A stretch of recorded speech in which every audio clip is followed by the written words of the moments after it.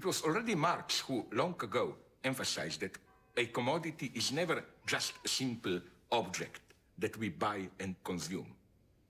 A commodity is an object full of theological, even metaphysical niceties. Its presence always reflects an invisible transcendence. And the classical publicity for Coke quite openly refers to this absent, invisible quality. Coke is the real thing, or Coke, that's it. What is that it, the real thing? It's not just another positive property of Coke, something that can be described or uh, pinpointed through chemical analysis, is that mysterious something more. The undescribable excess, which is the object, cause of my desire. In our postmodern, however we call them, societies, we are obliged to enjoy.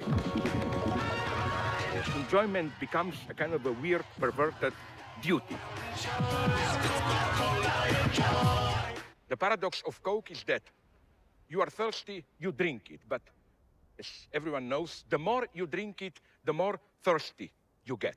A desire is never simply the desire for a certain thing. It's always also a desire for desire itself, a desire to continue to desire. Perhaps the ultimate horror of a desire is to be fully filled in met, so that I desire no longer. The ultimate melancholic experience is the experience of a loss of desire itself.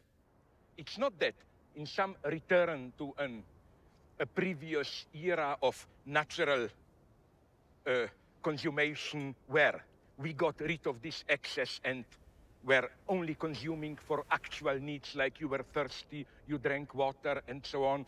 We cannot return to that. The excess is with us forever. So let's have a drink of Coke. It's getting warm. It's no longer the real Coke, and that's the problem. You know, this passage from sublime to excremental dimension. When it's cold, properly served, it has a certain attraction. All of a sudden, this can change into shit. It's the elementary dialectics of commodities. We are not talking about objective, factual properties of a commodity. We are talking only hear about that elusive surplus.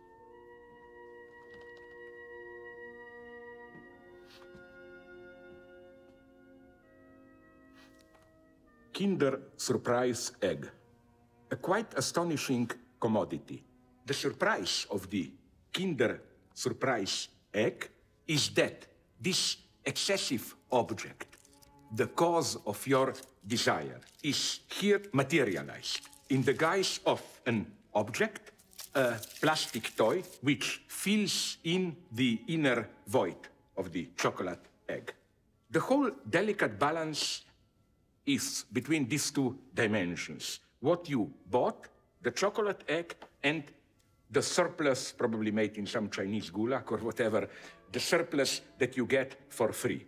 I don't think that the chocolate frame is here just to send you on a deeper voyage towards the inner treasure, the what Plato calls the agalma, which makes you a worthy person, which makes a commodity the desirable commodity. I think it's the other way around. We should aim at the higher goal, the gold in the middle of an object, precisely in order to be able to enjoy the surface.